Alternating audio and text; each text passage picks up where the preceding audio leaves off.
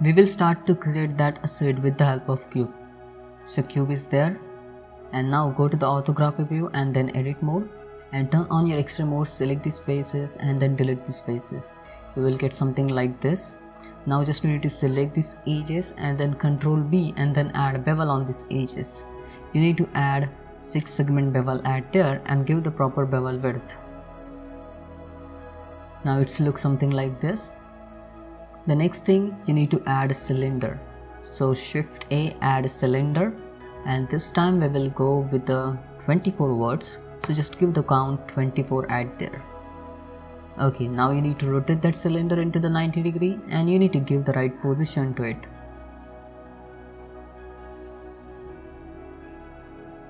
So in this way you need to give the right position to it. Okay and just take that cube little bit up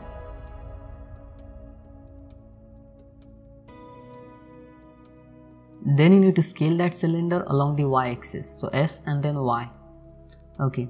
Now it looks something like this. So just select that cube and we want to add a thickness on it. So select everything e to extrude it and extrude it along its normal. Or you can press alt s to scale it along its normal. And you need to give the proper thickness at there. You need to give the thickness according to the cylinder. Means you need to match the thickness of that cube two faces of that cylinder. So you can see I'm trying to match that thickness. So I can easily use the boolean operation at there. So that's why you need to give the proper thickness and you can take the help of that cylinder as a guide. Then it will looks like this. Okay now you need to add one edge at there on the cylinder. As like this. Then you need to select both the objects and use the boolean operation which is the union okay now you need to apply that boolean modifier and then you can delete that cylinder because that was the double object at there. And you will get something like this. The next thing you need to select everything and press M and merge by distance double verts will get merged. So you need to merge the double verts so we can create a right topology at there.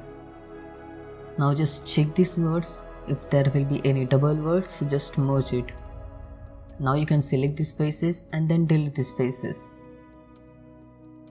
now you can select these faces and then press S, Y and give the value 0 to scale them along the Y axis and make it flat along the Y axis. Then you can select this edge loop and press F to fill the gap. Then select that face and then press I for the insert operation. And now you can select everything and mesh and then symmetrize. Take the symmetry along the X and Y axis. and now that's look good. You can see we got a basic form at there which looks pretty well. Now just take this object little bit up on the floor. And then you can select these faces and you can delete these faces. Then you can add the mirror modifier at there select these faces and then delete these faces and take the symmetry along the y-axis with the help of mirror modifier. So now just we need to work on this part and we can take the symmetry along the x and y axis and we can reduce our efforts. So you can see here is a double edge. So just control x to dissolve this double edge. So you need to do with all the double edges you need to dissolve these double edges. And then you can add the loop cut like this then use the edge slide to give the right position to that loop cut. And then add few loop cuts at here. And then you need to add one loop cut here and another loop cut at here. Then you need to add few loop cuts at here. Now just you need to select these verts right click and then connect vertex path and create a path in between the verts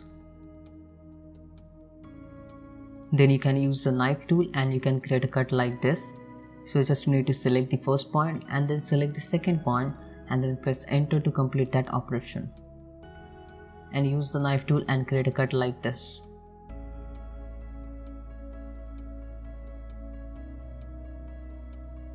Okay, now just select these verts and create a cut in between these verts with the help of knife tool and just try to create that loop structure.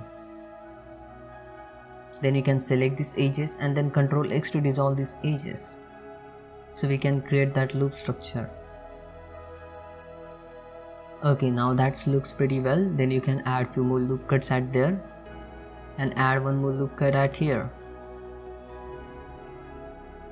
Similar kind of loop cuts you need to add at there. So just you need to add the supportive loop cuts to maintain the form of the model and to maintain that structure. And then you can add the sub D modifier and just turn off that auto smooth. So just go to the normal and then turn off that auto smooth. So just select these faces and then press I for the insert operation. And use the insert operation one more time. And then you can dissolve these edges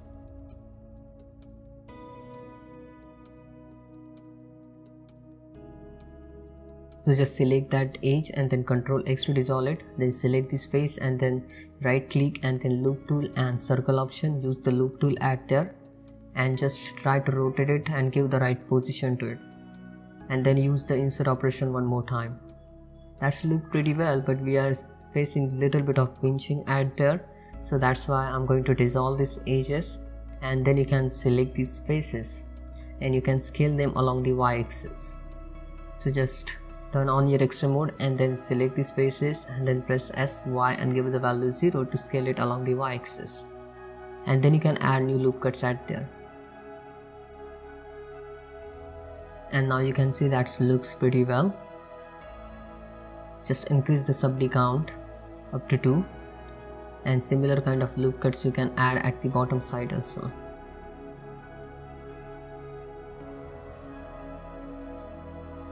And now you can see the model looks decent. We will try to add more details on it. So you can select that face and then press I for the insert operation. And use the insert operation one more time.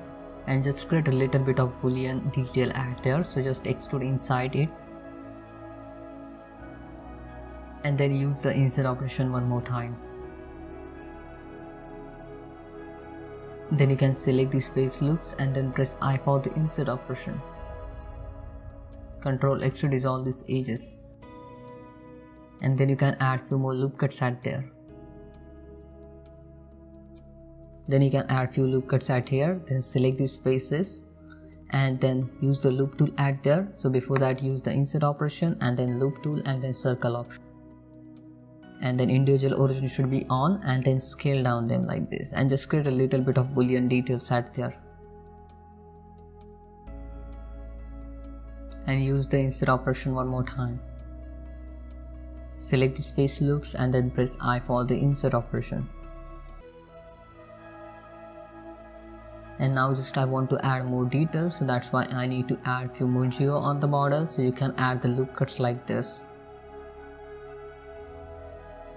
then add few loop cuts at here. So you can control X to dissolve that edge loop and then you can add new loop cuts at there. Then select that edge loop and then press S Z and give the value 0 to scale it along the Z axis and make it straight along the Z axis. Then add few more new loop cuts at there.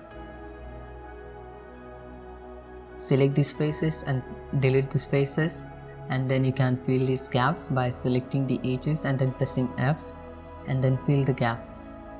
And then add more loop cuts out there and just fill these gaps.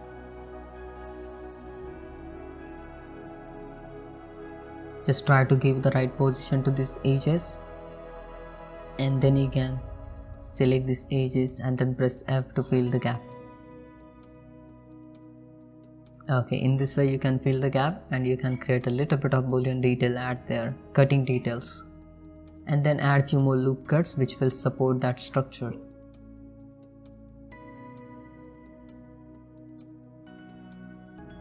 Then just I have added one more loop cut at here. Then you can select these faces and press I for the insert operation and then use the loop tool circle option and create a boolean at there. As like this Similar kind of boolean you can create at here also.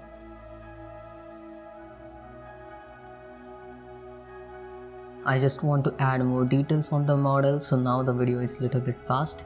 You can add as much detail as you can and you can watch the process to add more details.